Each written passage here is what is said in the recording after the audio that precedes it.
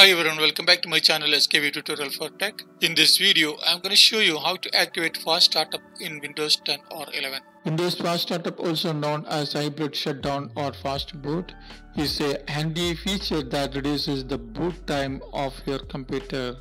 By default, this feature is enabled in most computers. However, if you're missing this turn on fast startup option under shutdown settings section, don't panic, you can activate it with a command line. That is what we are going to do, so watch the video and subscribe to the channel. Okay, let's start. Uh, let's see how to activate fast startup in Windows 10 or 11. To do that, right click on the start menu and then select Windows command prompt admin like this. In the Windows command prompt, enter the following command power cfg space forward slash h space on and hit enter.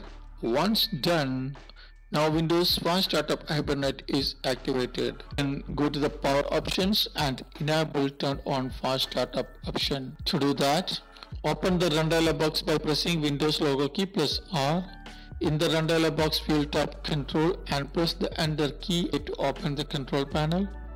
In the control panel, change the view option to get the full control panel settings. Like this, under control panel settings, select power options like this. Then on the left side of the window, click the link, choose what the power buttons does. You can see this link, click on it like this then you will see this kind of window. You can see here if the options is grayed out click on the change settings that are currently unavailable. Like this click on it. Then at the bottom of the window under shutdown settings section there is an option labeled turn on fast startup recommended. To enable turn on fast startup check the box next to this option and click Save Changes. If you want to turn off Fast Startup, uncheck the box and click the Save Changes.